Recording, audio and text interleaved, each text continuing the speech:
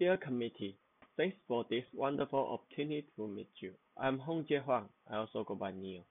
I just finished my undergraduate study this December, and I will soon receive my diploma from Penn State University. Even since I studied IST in my school days, I have realized that I enjoy analyzing things connected with the power of data. Since childhood, I have witnessed my family focus on textile business and modernization, guiding us toward understanding the data could transform the company in a deeper way.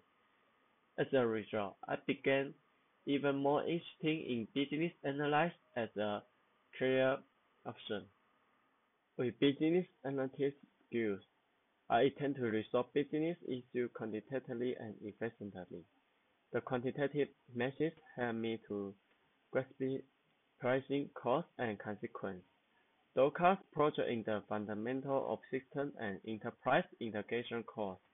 I have created quantitative methodology. Studying BA also gives me a broad awareness of the world and its working.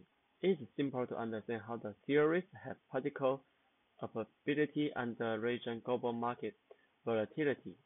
A career as a business analyst appeals to me since is challenging, fast-paced, and exciting every day. I enjoy working in the dynamic workplace.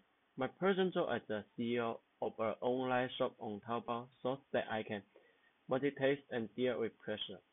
After increasing inventory efficiency, I reduce my manufacturing costs and better serve customers and finally generate 70,000 RMB monthly revenue at a 50% margin.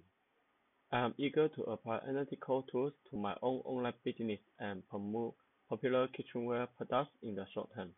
After accumulating enough experience, I aspire to advance to the management level at my family's business.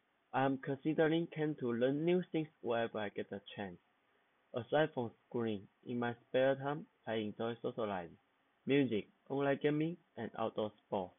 I'm a part-time web developer too. My strengths are my analytical approach, my appreciable communication and presentation skills. Thank you for watching this video.